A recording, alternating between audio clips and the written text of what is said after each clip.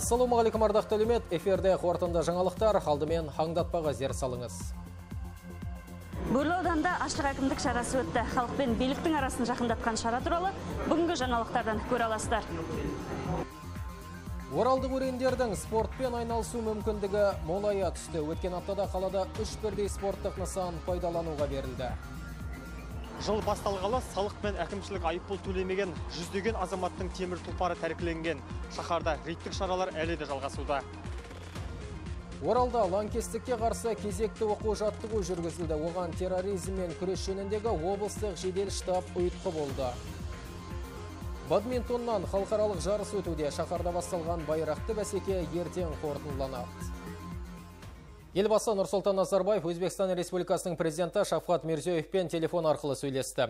Мемлекет басшылары екі жақты ынтымақтастықтың қазіргі жағдайы мен перспективаларын талқылады. Сондай-ақ күн тәртібіндегі өңірлік мәселелер жөнінде пікір алмасты. Нұрсұлтан Назарбаев пен Шафқат Мирзиев келер жылы Ташкентте орталық Азия елдері басшыларының кезекті жұмыс кездесуін өткізуді нақтылады. Телефонмен сөйлесуге өзбек жағы бастамашы болды. Ішкі істер саласы қызметкерлерінің жұмысы қоғамның көңілінен шықпай отыр. Тұрғындар тарапынан оларға деген сенімсіздік басым. Сондықтан Қазақстан полициясына үлкен реформа керек. Ақордада президент Нұрсұлтан Назарбаевтың төрағалығымен өткен жиында ішкі істер саласының мәселесі қаралды. Ұсыныстар айтылып, тәртіп сақшыларының әлеуметтік жағдайда сөз болды. Толығырақ келесі бейнематериалда. Елбасының қазандағы жолдауында ішкі істер саласына қатысты нақты жасалатын қадамдар белгіленді. Соған сай министрлік реформаның жобасын әзірледі. Президент ведомство басшысының баяндамасын тыңдағаннан кейін бізге жаңа формацияның полициясы қажеттігін айтты. Яғни жұмысқа орналасудан бастап олардың дайындығы, қызметтік өсуі қайта қаралады. Сондай-ақ ішкі істер саласының болашақ ұландарын оқыту жүйесі өзгереді. Заманауи полиция академиялары ашылады және ол әлемдік стандартқа сай болуы тиіс. Полиция мен тұрғындардың арасындағы байланыс ескірді. Өкінішке орай біздің елде реформа жасауда кенжелеп қалған осы ішкі істер органы болып отыр. Саясат, экономика барлығы алға кетті де тап осы сала алға жылжымай қойды. Өткеннің сарқын шағын жібермей тұр десе болады. Адамдар өздерін қауіпсіздікте сезінбейді. Сондықтан біз жедел түрде реформаны бастауымыз керек. Жолдаудан кейін мемлекет басшысының бастамасымен арнайы комиссия құрылған. Оған президент аппаратының жетекшісі төрағалық етті. Барлық ұсыныстар қабылданғаннан кейін енді келесі міндеттер орындалуы тиіс. Алдымен ішкі істер саласында оптимизация жүргізіледі. Штаттық бірлік 10 пайызға қысқарады. Экономленные деньги пойдут на повышение заработной платы. Қысқартудан үнемделген 16 миллиард теңге полиция қызметкерлерінің жалақысына қосылады. Әкімшілік шығындарды азайту көзделген. Бұл халықтың ақшасы. Салық төлеушілер бюджетке түсім түсіреді. Ал осы қаржыға полицияны әскерді ұстап отырмыз. Сондықтан тәртіп сақшыларына түсіндіру керек. Оларды халық асырап отыр. Өз кезегінде полиция тұрғындарға қорған болуы тиіс. Полиция қызметкерлерінің әлеуметтік мәселесі де қаралды. Атап айтқанда баспанамен қамту жұмыстары жүргізіледі. Ал егер тәртіп сақшысы жұмыстан қуылып тәртіп бұзса, жеңілдіктен айырылады. Выпускается 20 тысяч юристов. Жыл сайын бізде 20 мың заңгер жоғарғы оқу орнын тәмамдайды. Осы жастарды мен полиция қызметіне шақырамын. Біріншіден оның жоғарғы білімі бар. Ол барлық жағынан дайын, әділдікке жақын. Себебі оқыған адам. Сондықтан барлық оқу орындарын құлақтандыру керек. Егер заңгер полиция болса, бұл жақсы үрдіс. Қазір жұмыс істеп жүрген барлық полиция қызметкерлері келер жылы аттестациядан өтеді. Тек әлемдік стандартқа сай келетін тәртіп сақшылары өз орнында қалады. Ішкі істер органдарында өзінің ісіне адал, басқаға үлгі болатын қызметкерлер болу керек. Кезектен тыс аттестация өткізу керек. Кадрларды таңдауды жөндеу керек. Поэтому давайте над этим поработаем. Вместе вот с аппаратом, соответствующими министерствами. Жыл сайын полицияға 4,5 миллион тұрғын арызданады екен, алайда оларды қабылдауға келгенде ешқандай жағдай қарастырылмаған. Қызмет көрсету сапасы төмен, деді президент. Если человек пришел со своей бедой, его нужно быстро, вежливо принять и дать ответы. Это только полдела. Непосредственно с его проблемой должен разобраться кто-то. Тут же, в присутствии, поручить оперативно, в соответствии с законом. В этом состоит современный формат работы с человеком. Полициядан күдерін үзген тұрғындар президентке хат жазуға мәжбүр. Айтылған әңгіменің барлығын орындау үшін конкретно жұмыс істеу керек. Аппарат президента будет за этим следить. Главным образом будет отвечать министерство. Основная цель всех этих работ – безопасность граждан страны. Жиыннан кейін президент ішкі істер саласының жаңа формасымен танысты. Жаңа үлгідегі киім ыңғайлы сапалы материалдан жасалған. Тағы бір ерекшелігі полиция сөзі латын қарпінде жазылған. Мемлекет басшысы Нұрсұлтан Назарбаевтың төрағалығымен сот жүйесін жаңғырту мәселелеріне арналған кеңес өтті. Жиында елбасы елімізде сот жүктемесін азайту, азаматтық процесті жеңілдету, сот ісін жүргізудің жылдамдығын арттырып, ашықтығын қамтамасыз ету жөнінде шаралар қабылдауды тапсырды. Елбасы бүгінде судьяларды іріктеу тәртібі күшейтілгенін атап өтті. Мәселен, судья лауазымына 100 үміткердің ішінен бесеуі ғана сынақтан өткен. Бұл шара сот жұмысына күрделі істерді қарастыруға қабілетті әрі біліктілігі жоғары заңгерлерді тарту үшін қабылданды. Мұндай мамандарға тиісті жағдай жасалып, лайықты жалақы белгіленеді. Президент кадрлық мәселелердің бәрін жоғары соттан жоғары сот кеңесіне беруді ұйғарды. Елбасы сот кадрларын сапалы тұрғыда жаңартуға бағытталған заң жобасын әзірлеп, парламенттің қарауына енгізуді тапсырды. 2019 жылы 470 судья кәсіби бағалаудан өткізіледі. Осыған орай Нұрсұлтан Назарбаев жоғарғы сот пен жоғары сот кеңесінің басшылығына бұл мәселенің шынайылығын қамтамасыз етуді жүктеді. Сондай-ақ мемлекет басшысы сот ісін жүргізуде және электрондық сервистер жұмысында жаңа форматтар енгізуді сот ғимараттарында фронт кеңселер құруды тапсырды. Бүгін біз сот жүйесін және құқық қорғау органдарын жаңғырту мәселелерін қарайтын боламыз. Елдің халықтың сот билігіне деген сенімі ол мемлекетке деген сеніммен бірдей болады. Бұның маңызы өте үлкен. Біз біраз шараларды іске асырдық. Осы кезде жұмыс істедік. Бұның бәрі белгілі айтылған сот жүйесінде көп жұмыс жасалды.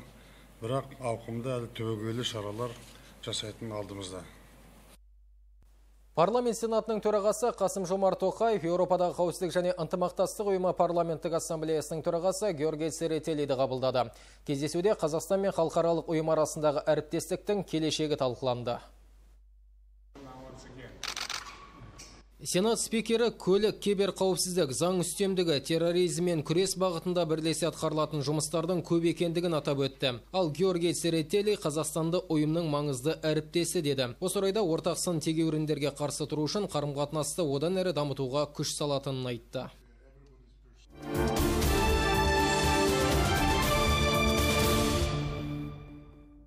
Еліміздегі тұрғын үй коммуналдық шаруашылығы саласында ашықтық жоқ. Жаңа жолдауда мемлекет басшысы осы саладағы кемшіліктерді жіпке тізіп, тез арада шешуді тапсырды. Осы орайда Қазақстан Республикасы инвестициялар және даму министрлігі құрылыс және тұрғын үй коммуналдық шаруашылық істері комитетінің төрағасы Мархабат Жайымбетов жайық жеріне хат басын тіреді басқосуда тұрғын үй коммуналды шаруашылығы саласының қызмет сапасын жақсарту жайы сөз болды. Салаға жаңа технологияларды енгізу жолдары талқыланды. Өңірде көп қабатты үйлерге жылу есептегіш қондырғыларды орнату қолданысқа енгізілген. Жаңа жүйе жылу мен қаражатты үнемдеудің ең оңтайлы тәсілі. Таразе вот хорошо поставлена задача. Таразда электр желісін, Шымкентте сумен жабдықтауда есептеу құрылғылары қолданылады. Бұрын айына 10 мың қазір 5 мың төлеп отырған тұрғындар бар. Бұл отбасы бюджетін үнемдеу деген сөз. Сондықтан атқарылып жатқан бұл жұмыстарды ширату керек. Жиында сондай ақ е шаңырақ бірыңғай ақпараттық жүйесі таныстырылды жоба коммуналдық саланың ашықтығын қамтамасыз етеді кез келген адам ғаламтор арқылы пәтер иелері кооперативінің кірістері мен шығыстарының дұрыстығын тексеріп арыз шағымдарын қалдыра алады говорим что необходимо в первую очередь приборизировать. Ең әуелі әр көпқабатты үйдің құжаты жасалып есептегіш құралмен жабдықталады. Кейін жетекші компания пәтер иелері кооперативі тіркеуге алынады. Тұтынған жылу электр су көлемі үнемделіп есепке алынып отырады. Қанатқақты жобаға батыс өңірінде 10 үйді қосу көзделген. Десек те есептегіш құралдармен қамтылған барлық тұрғын үйлерді тізімге алуға болады. Инженерлік коммуникациялар цифрландыру көрсеткіші бойынша облыс 14 орында.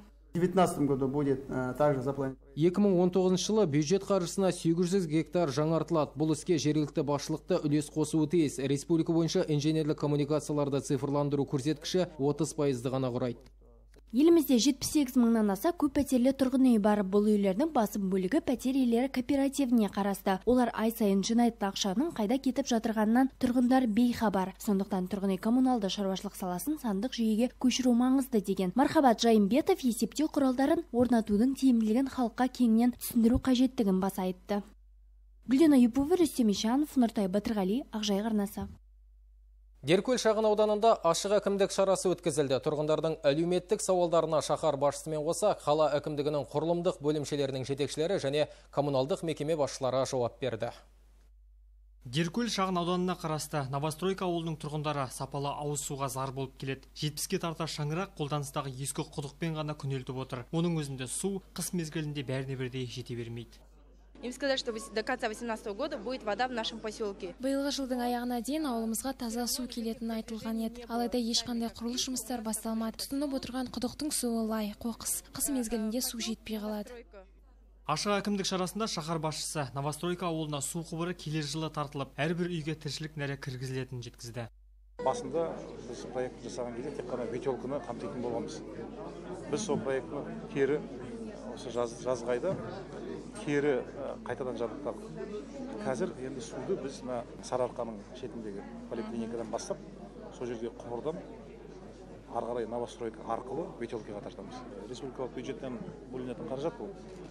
Қазір біз жобаны когда точно будет он тоғызыншы жылға біз кіргізіп қойдық. Қала іргесіндегі Маштаков, Ветелки, Өскен және Новостройка ауылындағы балалар Деркөлде білім алады. 200-ден астам оқушы күнделікті тасымалданады. Дегенмен ата-аналар сабақтан ерте шыққан көкөрімдер кейінгілерді күтуге мәжбүр болатынына қынжылады. Әрине түсінеміз. Ата аналардың жағдайы қыс, қыс жақындап келе жатқаны қиындау болады. Бір мезгілде бал, балалардың бәрін бір мезгілде таңертең тасып келіп жатырмық біздер. Енді күнделікті сабақ кестесі болғаннан кейін мемлекеттік стандарт болғаннан кейін әр баланың деңгейіне байланысты. Мысалы нөлевойда оқитын бала дейміз немесе бесінші сыныпта алтыншы сыныпта оқитын балалардың сабақ кестелері әртүрлі бітеді. Енді осының бәрін ұйымдастырып қазір деген бір уақытта сабақтар бір уақытта аяқтасып бір уақытта тасымалдап тасымалды аяқтайтын боламыз. Деркөл шағын ауданында өткен ашық әкімдік шарасына шаһар басшысымен қатар қала әкімдігінің құрылымдық бөлім және коммуналдық мекеме басшылары қатысып, жергілікті халықтың әлеуметтік сауалдарына жауап берді. Деркөл кенті территориясы жөнінен үлкен, халық бұнда 18 мың астам халық бар. Көршілес жатқан ауылдарда ауызсу мәселесі бар. Сосын жаңа жеке үйінің қасындағы жаңа дополнительный участок дейді ғой. Сондай мәселелер қосу жөнінде, жаңа газге байланысты бір мәселе болды. Онда да енді жүргізіліп отырған газ тек соны басқа жолмен жүргізсе деген әркім өзінің көшесіне жүргізбегенді қалайды ғой енді. Кезекті ашық әкімдік шарасында мамандардың кеңесіне жүз елуден астам тұрғын жүгінген. Еркебұлан смадияров ербол меңдіғалиев алтынбек қабделов ақжайық телеарнасы. Ақсай қаласында өткен ашық әкімдік шарасына жүзге жуық тұрғын келді. Жыл басынан бері төртінші рет өткізіліп отырған шара әдеттегідей мемлекеттік мекемеде емес, Ақсай шаһарындағы халық көп баратын сауда үйінде әрі сенбі күні өтті. Ондағы мақсат халық пен биліктің арасын жақындату, тұрғындарды мазалаған мәселелерге жауап қату. Толығырақ тілші тарқатады. Бұқара кеңсе табалдырғын тоздырмай, мекеме басшыларына өз сауалдарын қоя алды. Сондай-ақ мамандардың кеңесіне жүгінді. Жүзге жуық сауал сұрақ түссе, басым көпшілігі тұрғын үй және жер кезегі, жол жөндеу мен кәсіпкерлікті қолдауға қатысты болды. Барлығы 20-дан астам мемлекеттік және коммуналдық мекемемен бірге құқық қорғау бөлімдері қызмет көрсетті. Бұған қоса аудан және қала әкімдері қабылдап жүргізіп, тұрғындардың талап тілектеріне құлақ асты. Шағым жаңағы көктемгі су жөнінде жаңағы қызылталдан жаңағы көктемнен екі бағытта су өтеді. Соның бір бөлігі менің ауламнан өтеді. Соны ауылдың сыртымен өткізуіне аудан әкімінен өтініш сұрап көмек береміз деген ниет білдірді. Ризамын? Ашық алаңда тұрғындар жеке басының емес ортақ мәселелерді көтерді. Қоғамдық көлік қатынасы өңірдегі өзекті мәселенің бірі. Тұрғындардың тасымал сапасына қатысты сын ескертпелер көп. Жүру кестесі сақталмайды. Әрі автобустардың іштері лас қыс кезінде салқын. Одан өзге тұрғындар көшені абаттандыруға және жарықтандыруға қатысты сұрақтар қойды. Әрине атқарылып жатқан жұмысқа оң бағасын беріп жатқандар да аз емес. Один из самых главных жасалып жатқан іс көзге көрініп ақ тұр. Қаламыз күннен күнге көркейіп келе жатыр. Қала халқын біріктірген ортақ мәселе бар. Абай даңғылындағы темір жол өткелін қайта қалпына келтіруді сұраймыз. 1990 жылы жабылғалы бері ескі қала тұрғындары үшін орталыққа жеткізуде бірқатар ыңғайсыздық тудырып келеді. Қойылған барлық сұрақтар бойынша нақты жауап беріліп түсіндіру жұмыстары жүргізілді. Өзекті мәселелер назарға алынып қаражат бөлінгеннен кейін шешімі қарастырылмақ. Жалпы біз осындай шараларды әрі қарай жалғастырамыз. Өйткені көптеген мәселелерді мына жақта тыңдадық. Жалпы халықтың ұсыныстарын ой пікірлерін естіп өзімізге өзіміздің жұмыс жоспарымызға енгізіп ертең сол мәселелерді шешуге тырысамыз. Енді ұйымдастырған шара бұл біріншіден жаңағы елбасының тапсырмасын орындау мәселесі бойынша транспаrenттік мемлекет болуы тиіспіз. Сондықтан осы өзіміз ашық акимат өзіміз халыққа келіп отырмыз. Халық пен билік арасын жақындатқан шараны аудан басшылығы әр тоқсан сайын ұйымдастыруды көздеп отыр. Айым нұрғалиева александр овчинников еламан қазбаев ақжайық арнасы. Оралдық өрендердің жылдың төрт мезгілінде спортпен айналысуына мүмкіндік мол. Өткен демалыс күндері қалада үш бірдей спорттық алаң пайдалануға берілді. Егіс самұрық қазына тарас әлеуметтік жобаларды дамыту қоры есебінен жүзеге асты. Оқушылар сарайы қысы жазы балалардан арылмайтын мекен. Спорттық алаңның осы маңда салынуы да сондықтан. Жаңа алаң спорттың бірнеше түрімен айналысуға ыңғайлы етіп жасалған. Мұнда ересектер футбол, волейбол ойнаса, кішкентай тұрғындар үшін арнайы әткеншектер қарастырылған. Бастысы жаңа орын қай қайсының да көңілінен шығып отыр. Футболға ақжай қарамаса қатсам, маған футбол өзіме ұнайды, ол мен хоббиім. Осы керемет поле ашылған үшін қуаныштымын. Өте ыңғайлы поле үйіме жақын Алаңды керекті құрал жабдықтармен қамтуға самұрық қазына трасс әлеуметтік жобаларды дамыту қоры 20 миллион теңгедей қаражат жұмсаған. Дәл осындай балалар алаңқайы тұңғыш президент алаң мен Матросов көшесінде ашылды. Соңғы екі жылда қалада осы тектес 25 спорттық алаң пайдалануға берілсе, соның 12-сіне аталмыш қор бастамашыл болды. Алдағы уақытта да бірнеше бірлескен жоба жүзеге аспақшы. 52 аула абаттандырылған болса, бұған жергілікті бюджеттен қаржы бөлініп сонымен қатар бес үлкен тынымбақ салынды. Біздер бұл компаниямен бірлесіп жұмыс атқаратын боламыз. Үлкен бір әлеуметтік жоба ойластырып жатырмыз. Бұл жаңағы мүмкіндігі шектеулі азаматтарға балаларға арналған орталық салу жоспарымыз да бар. Бұл өзіміздің программамыз бойынша бұл бұндай площадкалар қырық бір қырық бірін строить еттік бүкіл қазақстан бойынша. Соның енді он екісі бүгінгі мына бүгінгі таңда строить біздің батыс қазақстан облысында. Болашақта әлде де ары қарай жалғастырамыз бұл істерді. Елбасы әр жолдауында бұқаралық спортты дамытуға ерекше көңіл бөледі. 2020 жылға қарай спортпен шұғылданушы тұрғындар санын 30 пайызға жеткізуді тапсырды. Сондықтан дене шынықтыру кешендерінің қолжетілімділігін арттырып, салауатты өмір салтын насихаттау шаралары келешекте де жалғаса бермек. Назерке Тоғжан, Ербол Меңдіғалиев, Алтынбек Абделов, Ақжайық арнасы.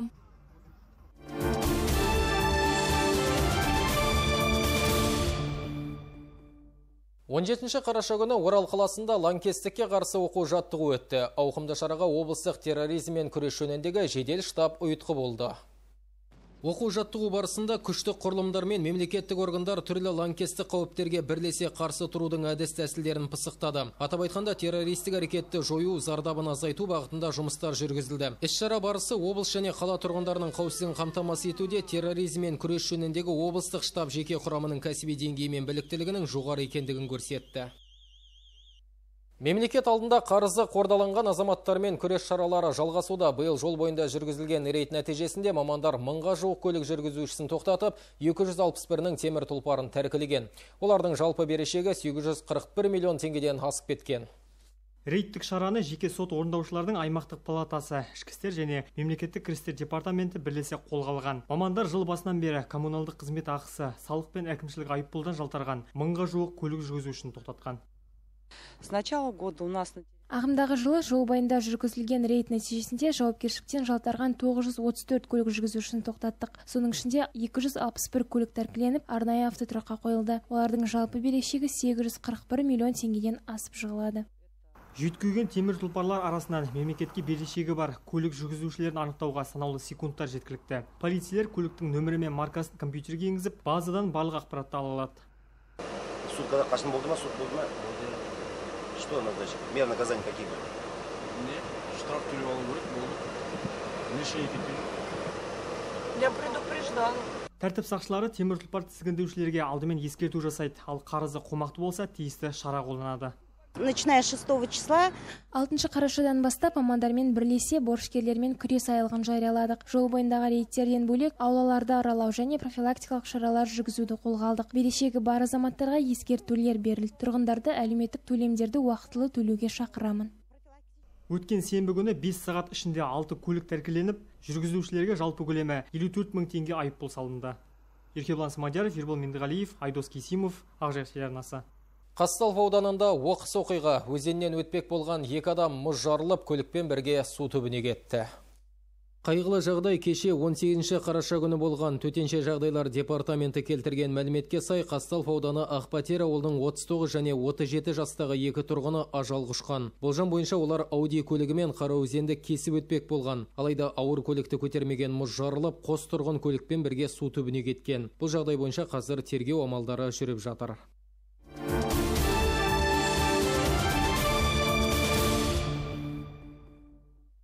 Свой дом кз азаматтардың тұтыну кооперативі тұрғындарға баспана алудың тиімді жолдарын ұсынады. Демалыс күндері серіктестік ұсынған қолайлы шарттарды құп көрген екі отбасы баспаналы болды. Свой дом тұтыну кооперативінің көмегімен көптен армандаған пәтерінің кілті қолына тиіп, қуанышқа кенелгендердің бірі Ері Хайров серіктестік туралы естіп біліп шарттармен егжей-тегжейлі танысқан ол кооперативтің жекеменшік бағдарламасына қатысқан. Кезегіміз келіп, осы екі бөлмелі пәтер алдық свой дом кезет кооператив осындай біз сияқты жас отауларға өте тиімді. Ағиыз Салимова да бұған дейін жалдамалы пәтерді паналап келген. Тапқан таянған ақшасының тең жартысын пәтер ақысына жұмсайтын. Шарт жасасып, 6 айда баспаналы болған ол компания шарттары тиімді дейді. Қолжетімді бағдарлама баспана деп айта алар едім өзіме алсам саған ешқандай қорқатын ештеңесі жоқ. Алты ай деген көзді ашып жұмғанша өтіп кетті. Біздер ай сайын өз жоспарымызды салып отырдық. Айына жиырма мыңнан бізге бөліп берді. Жиырма мың баяғыдан түк те емес. Алты айдың ішінде осы үйімізді алдық. Біздер өте қуаныштымыз.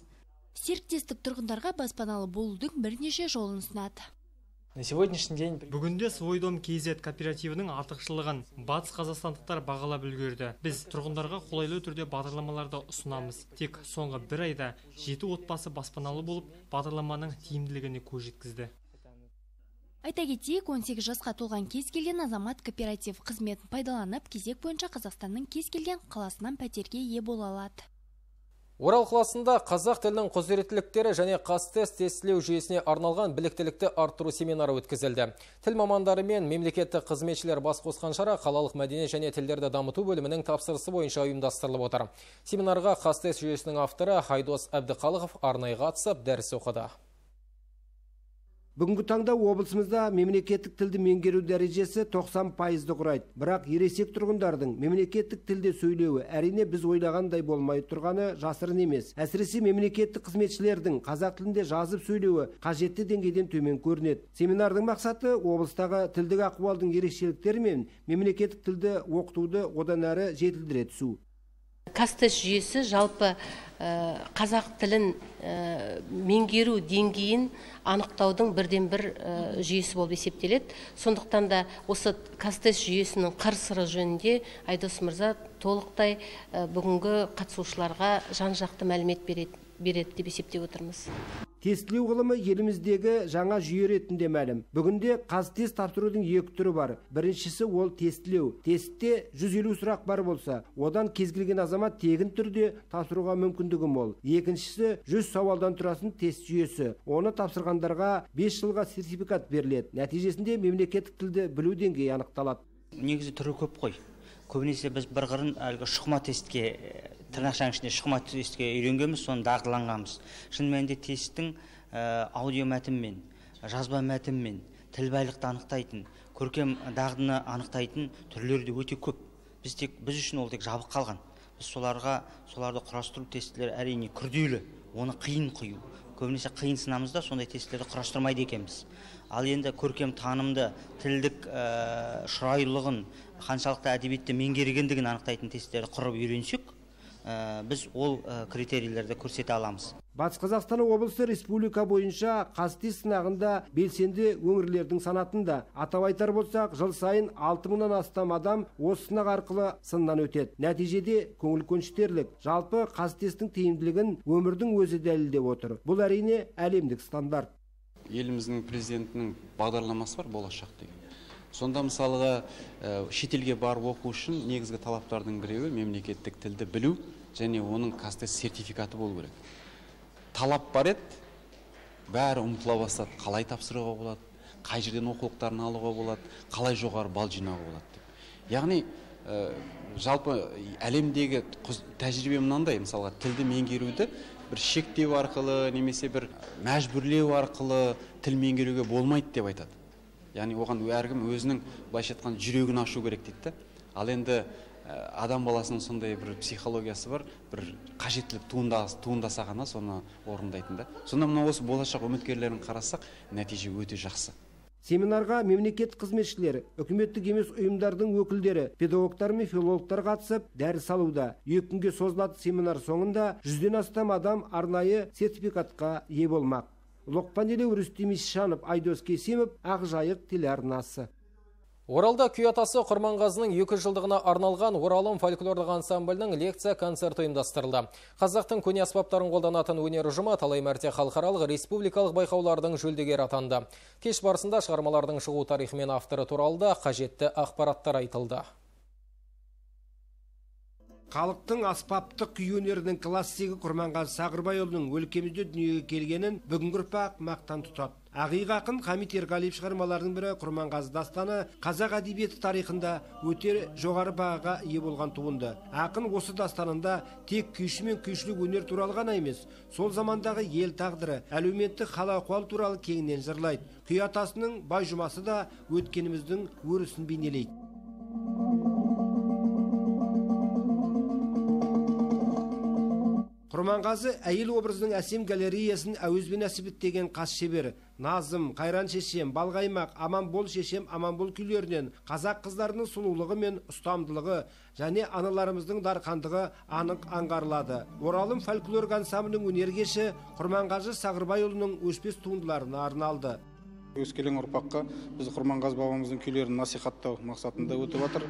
Сонымен қатар бұл тек қана домбыра аспабында емес сонымен қатар қобыз қылқобыз жетіген бас шертерде сонымен қатар сырнай және мынау қазіргі заманғы ұрмалы аспап ксилофон аспабы сынды көптеген аспаптарда құрманғазы бабамыздың күйін басқа қырынан танытып жатырмыз.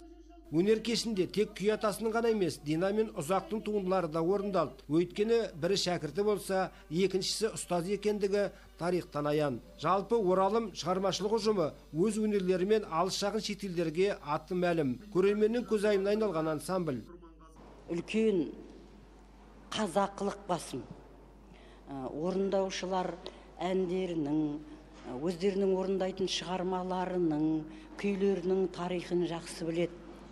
Және соны халыққа олардың шығу тарихын айтып кім орындағанын айтып бұның кейіпкері кім екенін айтып сондай бір лекциялық бағытта халыққа үлкен мағлұмат ұсынады. Көне аспаптар арқылы күй шерткен кеш көрерменнің көңілін көкке көтеріп ерекше ықыласқа бөлегені анық. Лұқпан елеу ербол меңдіғалиев алтынбек қабделов ақжайық телеарнасы.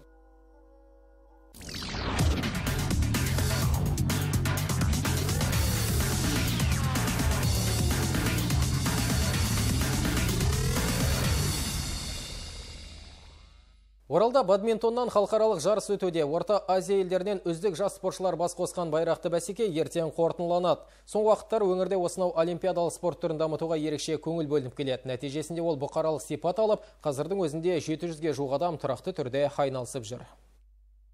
Турнирде 2004-2005 және 2006 жылдардан кейін туған ұл қыздар өзара бақ сынасуда. Дүбірлі додаға қатысуға жерлес спортшылармен қатар Өзбекстан мен Тәжікстаннан барлығы 150-ге жоқ спортшы келді. Үздіктер екі дәреже бойынша анықталып жатыр. Әр дәреже бойынша 5 медаль сарапқа салынады. Жарыс өте жоғары деңгейде өтіп жатыр. Одан кейін атап өтсек, бұл бадминтон спорт түрі Олимпиада ойындарына кіретін спорт түрі. Бұл қазақстанда жақсы дамыған деп айтсақ болады. Енді келешек олимпиадаға жолдама алатын ниеттеріміз бар. Біздің өңірде бадминтон федерациясы осыдан 5 жыл бұрын конденсат акционерлік қоғамының бастамасымен құрылды. Мамандардың сөзінше бүгінде спорттың бұл түрімен 400-ге жуық балғын 300-де ересек тұрақты түрде айналысады. Ол үшін тиісті жағдай жасалған. Нәтижеде жоқ емес. Жуырда жасөспірімдер арасындағы бәсекеде оралдық команда екінші орынды еншіледі. Город Уральск становится Орал қаласы бадминтон спортын дамытуға барлық жағдай жасап отыр. Қарашаның 10 мен 16 аралығында жасөспірімдер арасында ел біріншілігін өткіздік. Енді міне орталық Азияның кіл мықтыларын жинап отырмыз. Осы сайыста біздің спортшылар жоғары ұпай жинап, биік тұғырдан көрінеді деп үміттенеміз. Осы додада топ жарғандары 22-25 қараша аралығында өтетін конденсат Apex International халықаралық турниріне жолдама алады. Оған әлемнің 8 мемлекетінен спортшылар келеді деп күтілуде. Назерке Тоғжан, Ербол Меңдіғалиев, Айдос Кесимов, Ақжайық арнасы. Құрметті көрермен, егер бізбен бөлісуге лайық деп тапқан дүниелеріңіз болса, хабарласыңыздар. WhatsApp-тағы телефон нөміріміз 837-264-15 екенін әдеттегідей естеріңізге саламыз. Осы және өзге де ақпараттарды арнамыздың орал тв.кз сайтынан және экранда көрсетілген әлеуметтік желі парақшаларынан қарайластар. дүйсенбіге дайындалған ақпараттар легі осындай болды назарларыңызға хэппи дом азаматтардың тұтыну кооперативінің демеушілігімен ауа райы мәлімет ұсынылады өңіріміздің басты арнасымен бірге болыңыздар